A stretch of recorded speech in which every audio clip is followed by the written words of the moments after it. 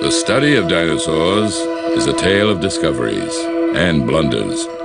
For every breakthrough in understanding, there's usually a colossal error. The head that should have been a tail, the horn that was really a claw, the meat eater's head stuck on the vegetarian's body.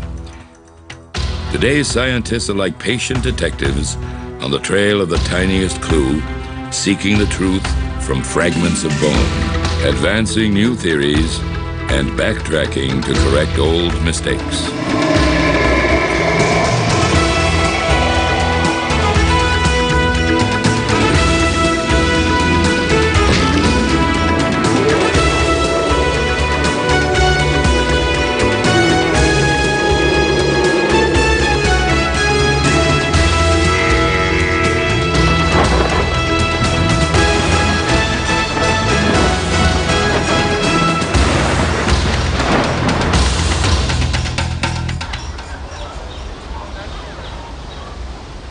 Crystal Palace Park, a Jurassic Park of the Victorian age, opened in London in 1854.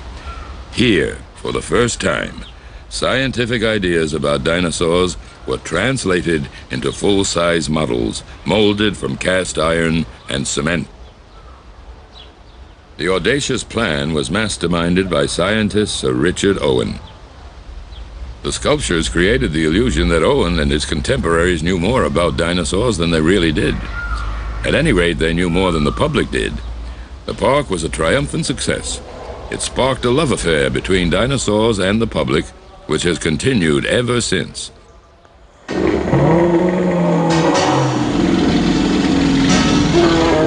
In this century, Hollywood has thrived on wild views of dinosaurs and romanticized the dinosaur hunter as a bold adventurer. The same image was deliberately cultivated by legendary fossil hunter Roy Chapman Andrews of the American Museum of Natural History. A self-confessed restless spirit, Andrews was notoriously impatient, often breaking valuable finds in his zeal to unearth them. At the American Museum, to destroy a specimen was to RCA it. RCA meaning Roy Chapman Andrews. Andrews would be party to a classic case of mistaken identity, one that would go uncorrected for 70 years. In April 1922, Andrews led an expedition deep into Central Asia's Gobi Desert. 125 camels, two trucks, three Dodge automobiles, fitted out with extra sturdy springs, servants, table linens, a pearl-handled Colt 45, and a Hollywood cameraman to publicize his exploits. Between brushes with heat, sandstorms, and bandits, Andrews stumbled across a sensational find. Dinosaur eggs in shallow nests dug into the desert soil. What dinosaur had laid the eggs? Everywhere Andrews found bones of plant-eating Protoceratops, a primitive hornless relative of Triceratops. Andrews assumed that these were the parents. For the next seven decades, popular illustrations depicted Protoceratops as a devoted parent guarding its nest. The expedition had also found fossils of a rare, strange predator, Resembling an ostrich without wings, the raptor was found on top of the nest. Andrews assumed it had died while feasting on the eggs. He named the beast Oviraptor, or egg thief. Then, in 1993, another team from the American Museum of Natural History returned to the Gobi. They found more nests full of eggs. Their most surprising discovery was an embryo still clinging to a fragment of eggshell. Roy Chapman Andrews had been mistaken. The eggs were laid not by the Protoceratops, but by the Oviraptor. Oviraptor was no egg thief, but a protective parent which had died guarding its nest. Flamboyant Andrews was easily tempted to make bold assumptions based on fragments of evidence. Yet every scientist faces similar pitfalls, according to paleontologist Robert Bakker. Well, my mother, who's a creationist, sometimes rattles my cage by saying, "Well, Bob, you uh, you scientist, you always make things up. You get a single bone, you build a whole animal, you got the wrong head, the wrong tail, tail on the wrong end, head on the wrong end." That does happen on occasion. But almost always it's another scientist who another anatomist who catches the mistake and corrects it. And paleontology's been pretty good at catching those mistakes. Many errors are formed from hardened beliefs and incomplete discoveries, a point made emphatically by Harvard biologist Stephen Jay Gould. Paleontology is a complex field. Most fossils are scrappy, you get little bits and pieces. And remember, the fossils of most creatures are representing animals that are dead and have been extinct for millions of years. Imagine you go out and you find a, a shell or a bit of a bone of a creature that has no modern analog on Earth today. It's very difficult.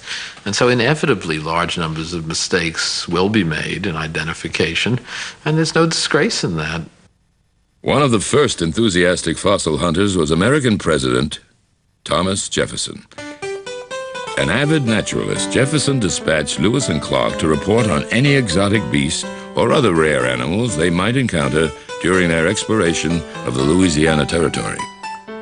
On another occasion, Jefferson was sent the fossil bones of an animal he could not easily identify. Never one to turn down a challenge, Jefferson labeled the fossil a giant lion's claw and missed the mark entirely. Among the many things that Thomas Jefferson did when he wasn't being president, or sending out Lewis and Clark, or purchasing Louisiana, was paleontology. Jefferson actually wrote two technical articles in paleontology, and in one of them he made a notable error, but nothing to be ashamed of. It was a perfectly understandable mistake. He found a very large claw, and he thought it was a lion's claw. It doesn't look very much unlike the claw of a large carnivore. Now, it turns out it isn't. It's the claw of a giant sloth. But how would he have known that? Sloths today are little creatures that hang upside down from trees in South America. This big. How would Jefferson have known in the 1790s when he wrote this article that there were once sloths in North America that were 20 feet tall and that had big claws for digging?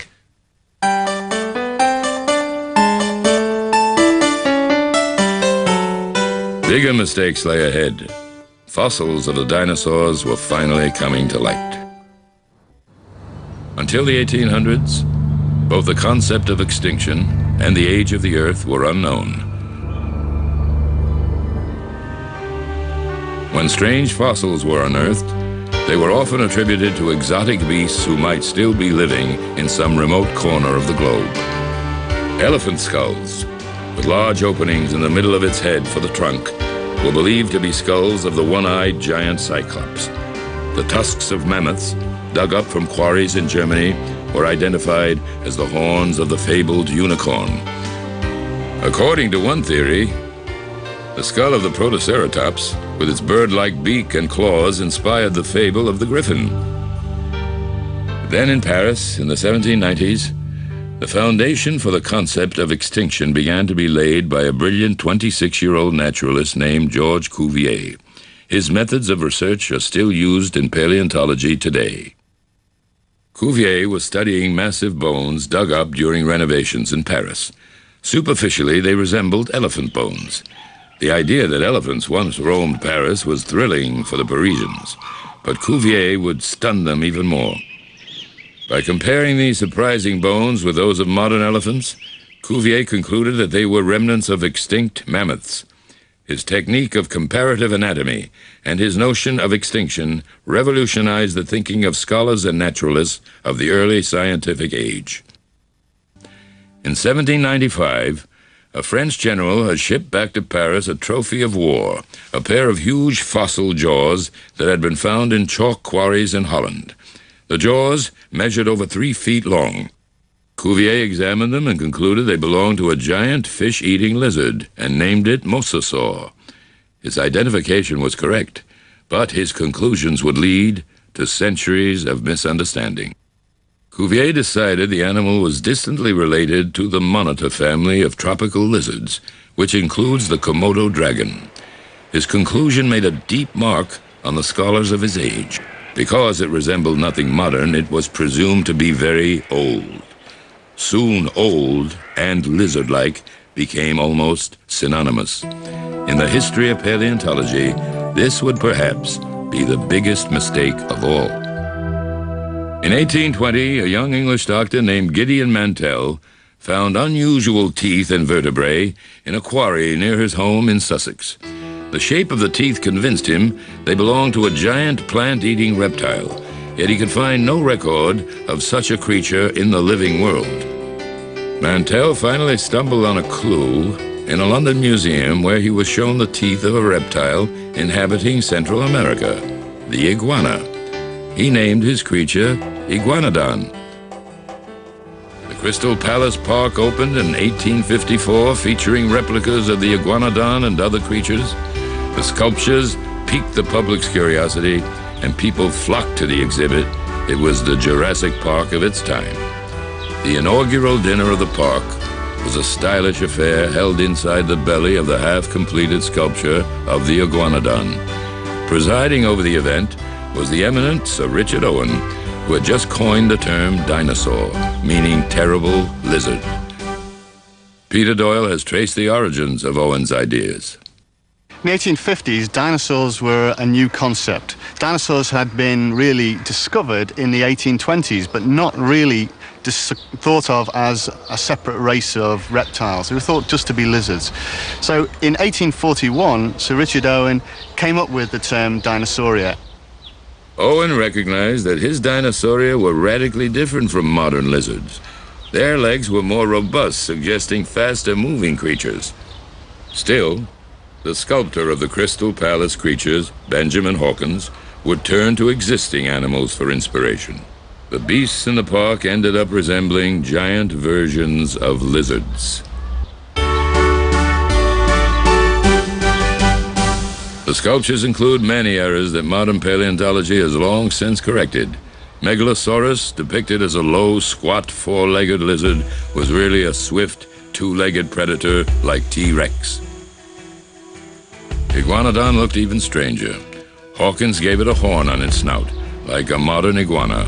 Later discoveries placed the horn in its rightful place as a defensive spike, projecting like a thumb from the creature's wrist. Today's reconstruction shows a very different iguanodon, finally free of the reptilian baggage. A biped, horizontal, with a stiff tail off the ground. The new iguanodon looks far more nimble perhaps even a swift-footed, warm-blooded runner. In the 1920s, the great American nature artist Charles Knight began his long career. His vivid paintings were as influential in the 20th century as the Crystal Palace sculptures were in the 19th. Like his contemporaries, he depicted dinosaurs as slow, cold-blooded reptiles. Knight's lumbering mistakes were set into motion in the 1925 classic the Lost World. Hollywood made even bigger mistakes all by itself. Plant-eating sauropods devastating a city and eating its people. Cavemen and dinosaurs living side by side, even though they were separated by 64 million years. Though Hollywood's mistakes are legendary, there was still plenty to go around among the paleontologists themselves. In the 1870s, when dinosaur fossils began turning up in the American West, museums back east began a race to acquire fossil collections. Suddenly, dinosaurs were more than curiosities, they were big business. No exhibit was sought more than the big Brontosaurus. Brontosaurus belongs to the family of giant dinosaurs known as sauropods. Some weighed 20 tons and stood 15 feet at the shoulder. The hunt for the Brontosaurus was to lead to a classic case of mistaken identity. In 1877, an aloof professor of paleontology at Yale University, Othniel Charles Marsh, received 10 boxes of bones dug up by a Colorado schoolteacher and part-time fossil hunter. By the time Marsh got around to looking at them, the teacher had sent a similar shipment to Edward Drinker Cope, a brilliant, hot-headed, self-trained scholar of independent means living in Philadelphia. Cope and Marsh each dispatched a team to Wyoming to find prize fossil sites. Sometimes the rivals dug so close to each other they spied on one another. Once the best specimens were taken, leftover fossils were smashed to bits by the team to deny their rivals any further finds. Edwin H. Colbert began his career in paleontology at the Museum of Natural History more than 60 years ago, not long after the bone wars between Marsh and Cope. Cope was studying a plesiosaur, which was one of the great aquatic reptiles, marine reptiles of Mesozoic times, and he got the skull on the wrong end. He put the skull on the end of the tail, and Marsh discovered that, and of course he didn't let Cope forget that. Well, of course, that was all a result of uh, a lot of hasty work. Both Marsh and Cope were men in a hurry. They were in a hurry to do as much describing as they could, you see. Humiliated, Cope at first refused to admit his mistake. Finally, in the dead of night, Cope crept into the great hall and with no one watching, he quietly made the correction. But Cope's rival bungled too. In the late 1870s, Marsh collected two magnificent skeletons of Brontosaurus, the first ever found. There was only one snag. Both specimens were amazingly well preserved, but the heads were missing. Marsh had to make an educated guess. Paleontologist Bob Bakker explains how the big dinosaur won its giant head. This is a really great head. It's the head of a brontosaurian. Professor Marsh found the first good skeleton of a brontosaurian, Brontosaurus itself, and it was a huge, powerful animal. But Professor Marsh didn't have a head. So he looked at other quarries for a head. And what sort of head should his Brontosaurus have? Well, it had to be a great, big, strong head. And he picked this head. Wonderful head. Uh, to orient you, that's the ears and the eyes, the nostrils here, a great big boxy cranium. And this is the head Marsh put on Brontosaurus at Yale. And the New York Museum put the same sort of head on their Brontosaurus. And the museum in Pittsburgh put the same head on their Brontosaurus. And when the movie King Kong was made, the Brontosaurus that ate the sailor had this type of head. Very fierce head with huge teeth. A great head, a wonderful head, a very adaptive head, but it's the wrong head. Marsh didn't realize there were actually two different types of brontosaurians. One, like Camarasaurus, had tall shoulders, short tails, and big heads, while the other, like Diplodocus or Apatosaurus, had long, slender necks and tails and small heads. In his ignorance, he mounted a big skull from one group on the long, slender skeleton of the other. The real shocker is that the correct head was found nearly 80 years ago. You see, the Carnegie Museum was digging a beautiful brontosaurus in the early part of this century. And they got the, the torso, and they got the base of the neck, and the front of the neck, and then the neck right behind the head, where the head should be. And a few feet away was this head. And the quarryman said, Whoopee, we've got the head of Brontosaurus. And the head preparator back at Pittsburgh said, Whoopee, we have the head of Brontosaurus. But then the government paleontologist came in and said, Wrong head. We all know Brontosaurus had a great big boxy head. This is an elegant, skinny, triangular head. It looks like Diplodocus, so it can't be the head of Brontosaurus. So this head, this wonderful head, the true Brontosaurus head, sat forgotten on a shelf in Pittsburgh until the mid 1970s when Professor McIntyre said, The quarry guy was right all along. This is the head of Brontosaurus. And it looks like a Diplodocus head because Brontosaurus and Diplodocus are sister species. They have the same construction all over from tail to head, so of course they're going to have the same sort of cranium. In the 1970s, views of Brontosaurus changed. They had once been seen as sluggish swamp dwellers. New discoveries showed that Brontosaurus lived in dry grasslands. Bakker compared their mighty legs with the muscular limbs of fast-moving elephants and rhinos. Like elephants in Africa today, Brontosaurus may have migrated hundreds of miles in search of food. Nothing could be more different from the old image of a sluggish reptile. What other mistaken ideas about the dinosaurs remain to be corrected? Today, there are more fossil hunters searching for the bones of dinosaurs than ever before. Few are trained paleontologists. Many dig out of sheer fascination with the hope of finding something that died out nearly 65 million years ago.